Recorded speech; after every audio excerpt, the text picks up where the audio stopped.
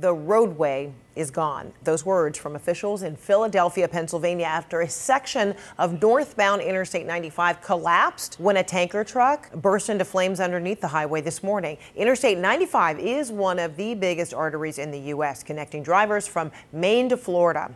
And right now, the highway is closed in both directions around that area. Authorities say the incident will significantly impact the community for quite some time.